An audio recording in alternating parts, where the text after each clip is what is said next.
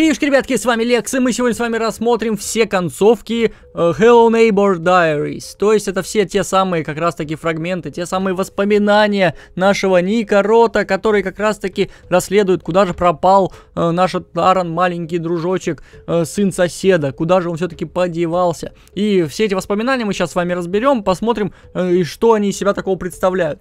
В принципе, их здесь довольно-таки много. Я надеюсь, то, что вам это интересно, я надеюсь, то, что uh, этого вы ждете ждете. И, разумеется, поставите лайк, потому что э, проходить, проходить, ребята, ну, то есть эту игру очень сложно, очень сложно. И, разумеется, все эти концовки ты не сможешь получить. Чтобы получить все эти концовки, ты должен прям вообще идеально все пройти и сделать э, все, э, найти все объекты, которые там присутствуют в этой игре, чтобы тебе показали все концовки. Потому что я уже и в подвале побывал, и везде побывал, вы видели мое прохождение, те, кто смотрит мой канал. Там уже много этих концовок есть, но они каком каком-то странном порядке. Давайте здесь э, все разложено по порядочку, в принципе, э, в этом видосе. И давайте все-таки делать какие-то выводы.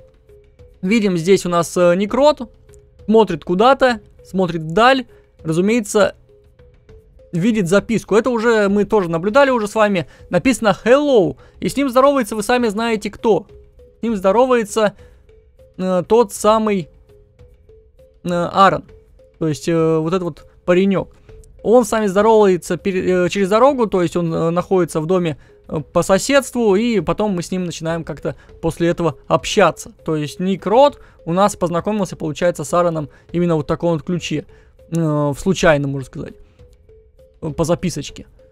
Также мы здесь наблюдаем, как они ходят по магазинам, мы наблюдаем без других персонажей из Hello Neighbor, Э, из Secret Neighbor в том числе, и мы наблюдаем то, что у них тоже есть какая-то своя дружба. И мы замечаем здесь, скорее всего, какая-то, знаете, э, момент, то, что с нами тоже познакомился этот Аарон только потому, что он нас увидел э, с другим другом.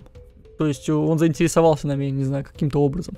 Здесь мы наблюдаем э, записку, э, нам сказали, что встретимся возле альпак, ну, либо возле лам вот этих вот интересных, 8 часов вечера. И то есть Аарон направится в 8 часов вечера в специальный э, зоопарк, специальный парк, скорее всего, расположенный как раз-таки в Золотом Яблоке, и там будут вот эти вот ламы. Наблюдаем то, что сосед здесь что-то придумывает, раздумывает, чертежи какие-то лепит постоянно. Э, разумеется, это вообще все в настолько яром, не знаю, э, прибодрении духа соседа, что он э, не может остановиться, все больше и больше всего этого рисует, прям на, безу на безумном уровне все это выходит. Разумеется, нарисовал он здесь э, на чертеже э, тот самый э, ту, ту самую карусель, на которой произошла трагедия. Вы, наверное, помните, какая трагедия, а именно смерть Люси, э, которая как раз таки упала на такой карусели и разбилась.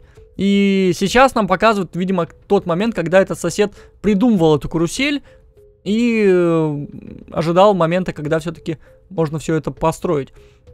То есть это еще до момента, когда умерла Люси. Мы видим здесь э, Golden Apple Factory. То есть это, ребята, не парк Золотое Яблоко, яблоко это именно завод Золотое Яблоко. И вот что производит на заводе Золотое Яблоко, лично для меня непонятно. Ну, скорее всего, там производят э, части для как раз-таки аттракционов, э, которые находятся у нас в парке Золотое Яблоко. Скорее всего, так это работает. Возможно и нет, но мы об этом узнаем. Здесь мы видим, что они пробрались куда-то, видимо, в тот самый парк Золотое Яблоко, какую-то закрытую комнату, а здесь были всякие вкусняшки. Возможно, они пробрались в магазин, потому что в магазине мы тоже сейчас будем видеть всякие э, интересные вещи. То есть они в магазин тоже сейчас э, будут э, заглядывать. Они видят открытую дверь. И что там? Там опять какой-то хлам. Очень много хлама, э, который они сейчас будут использовать для того, чтобы собрать из этого хлама всякие э, интересные изобретения. И, разумеется, мы наблюдаем то, что они сейчас зайдут в эту комнату и будут творить. Ну, погнали, погнали. Что тут можно сказать? Они здесь не только творят, так они еще и телек смотрят. Посмотри, ай-яй-яй, какие хорошие. Но они находятся, опять-таки, не в парке Золотое Яблоко, я прошу напомнить, ребят. Они находятся на заводе. Они находятся на заводе Золотое Яблоко. И отсюда, кстати, видно сарай вон из окна. Хм, интересно. Возможно, этот сарай... Это и есть тот сарай, в котором мы появляемся? Хм, Интересно, они находят отмычки, и эти отмычки помогают им открыть и взломать замки у тех шкафчиков, которые стоят в этом помещении. Понимаете, да? Узнав об этом, То есть позвонили э, Теодору Питерсону, видимо. Он узнал об этом, и что произошло? Или, или звонят по другому причине, интересно. Пока непонятно. Прикольно то, что у них э, даже вот этот телефон, да, видите, цифры непонятном э, каком-то положении находятся. То есть не в стандартном. Он отметил не 31 видишь, я понял. Это сказали о открытии его парка аттракционов. Он был намечен на 31 число, но получилось так, что 31 число не получилось, видимо, и его, они все перенесли на начало месяца. То есть аттракцион открыли раньше, чем он был готов. Я думаю, вы понимаете, к чему все это ведет.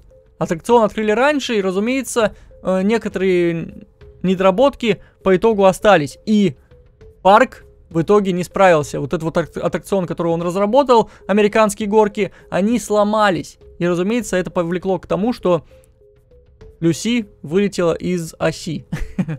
как бы это смешно, не звучало. Какой-то Куин.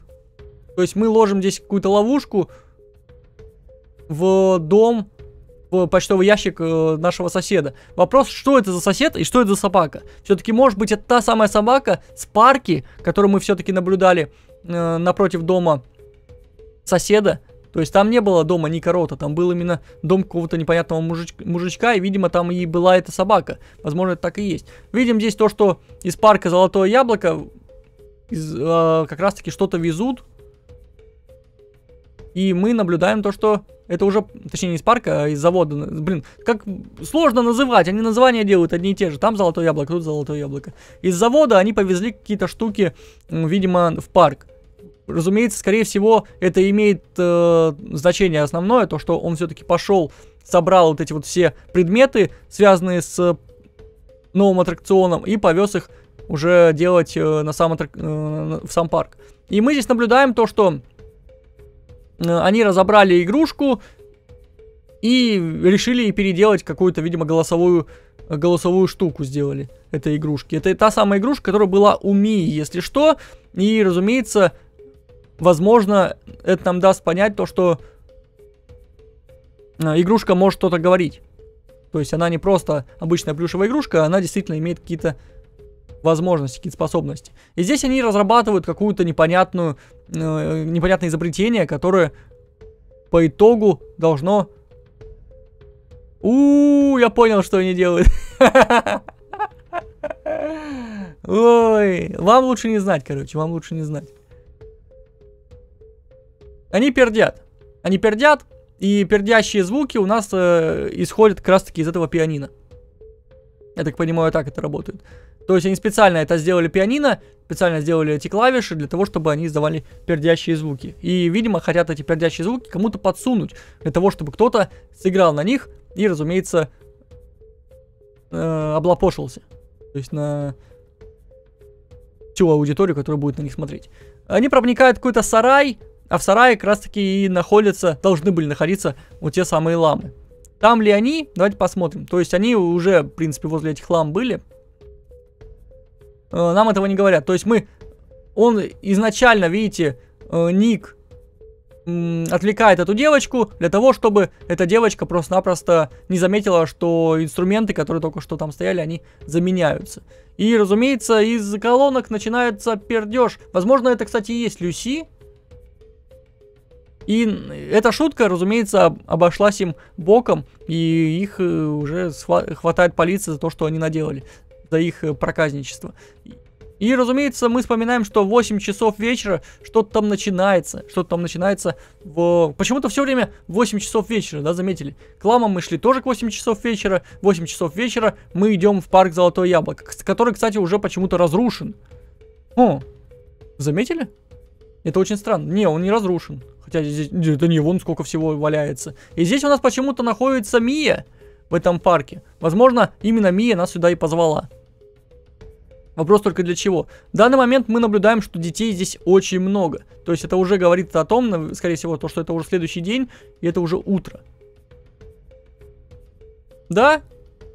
И маленький ребенок в шоке кричит, что все-таки что-то там поломалось, что-то там улетело. Мы с вами знаем что. Мы с вами знаем, что же все-таки там улетело. Не знаю, возле какого здания он стоит, но мы видим то, что оно заброшено. А, ну возможно, да. Возможно, да. То, что это и есть дом соседа. И после вот этих вот событий дом соседа они, разумеется, уничтожили. Как, в принципе, и возненавидели самого Теодора Питерсона, из-за которого произошел этот инцидент. Ну, в принципе, практически все как по книгам. Мы, разумеется, про прокрадываемся в это помещение, находим там подвал. А в подвале у нас что? В подвале у нас тот самый Никрот. Ой, какой. Тот самый Аарон Питерсон. Такие дела. Ребят, это все. Это все. Видео уже началось заново, если кто не понимает. Э, с этого эм, начинается видео, да, вот с того, что мы знакомимся, и заканчивается тем, что мы проникаем в подвал. И, возможно, на этом как раз таки начинается сама игра, на которой как раз таки нас и ловит Теодор Питерсон за то, что мы заглядываем э, суем свой нос в чужие дела. ну, все-таки не чужие, все-таки у нас друг, все-таки он был нашим другом, и все-таки он пропал, и мы немножко беспокоимся. И это, в принципе, вполне себе в порядке вещей. Это, в принципе, так и должно быть. Так что неудивительно, что э, наш нос действительно заинтересован тем, что же там происходит в доме у соседа. Потому что Аарон пропал, с Аароном больше нет возможности связаться, Мии тоже нету, дом какой-то весь побитый, избитый, у Теодора э, после этого инцидента с Люси, которая умерла, погибла на аттракционах. Разумеется, все это произошло, и мы с вами знаем то, что потом сосед куда-то денется. То есть соседа сейчас будет обвинять во всех грехах, то, что он является самым ужасным преступником. Хотя от него по этой истории мало что зависело, потому что они просто-напросто перенесли э, дату открытия парка на целый месяц. То есть у него было запланировано 31 число, а открылся парк 1. Вот такие дела. На этом все, ребят. Надеюсь, вам понравилось. Интересная такая история. Мне кажется, это офигенная. Э, вот эти вот все концовочки, они супер офигенно открывают некоторые детали. И это реально интересно. И надеюсь, вы... Э, вам понравилось, и вы ждете от меня больше таких видео. Возможно, даже мы с вами попроходим эту игру еще. Но зависит все, разумеется, от вас. Если вам интересно, покажите мне это своими лайками, своим, своей активностью, и мы обязательно с вами продолжим проходить. Спасибо за просмотр. Не забывайте про Boosty, потому что Boosty это то, где я вас всегда жду. Мне очень приятно, если вы меня поддерживаете через Boosty, потому что вы сами знаете, сейчас на монетизации ничего не заработаешь, YouTube ничего не платит, копейки полнейшие у меня выходят в месяц. И, разумеется, очень будет приятно, если найдутся такие люди, найдутся мои фанаты, которые готовы меня поддержать, потому что там плюс к этому еще даются всякие плюшечки, если вам интересно. Э, такие как роли в Дискорде и возможность добавлять меня в социальные сети. Так что не упустите эту возможность и поддержите меня, мне будет очень приятно. А с вами был Олег, спасибо за просмотр, это была игра Hello Neighbor Diaries и всем добра.